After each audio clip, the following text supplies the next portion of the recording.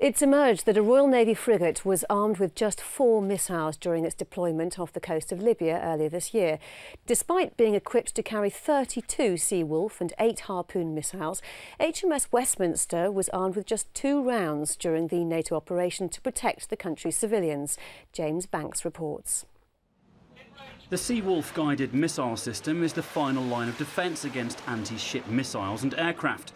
Usually fired in pairs, this means that with only four missiles on board, the Type 23 frigate would have only been able to fire against two incoming missiles, leaving some in Westminster to suggest that the MOD needs to become more flexible post SDSR if you've got fewer ships around, uh, you've got to uh, enable them to have greater flexibility. HMS Westminster was diverted uh, to Libya, and she was not uh, replenished with that with that ordnance at sea. So um, I think we really do need to look at this area and just really make sure that our ships are being sent uh, to sea uh, with the with the right kit on board to cope with a whole variety of situations they, they might confront.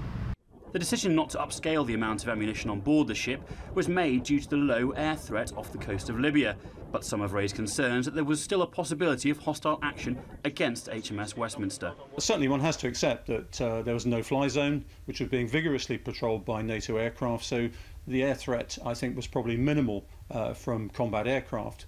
Um, but that's not to say that the Libyan regime didn't have an awful lot of surface-to-surface missiles that could have been used, and certainly four missiles is a very meagre defence against the sort of threat that the Gaddafi regime could have deployed. The Royal Navy have responded, stating that HMS Westminster could defend itself with Seawolf missiles and could have been resupplied if necessary. The assessment of risk for that particular operation was correct, and the Seawolf capability was not used. James Banks, Forces News.